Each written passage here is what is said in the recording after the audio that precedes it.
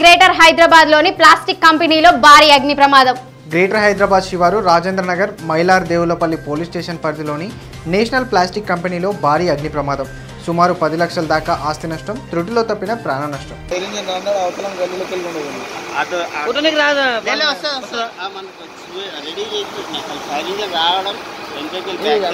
ఇదైతే ఇప్పుడు ఇది దీన్ని ఏం చేయలేం కదా సార్.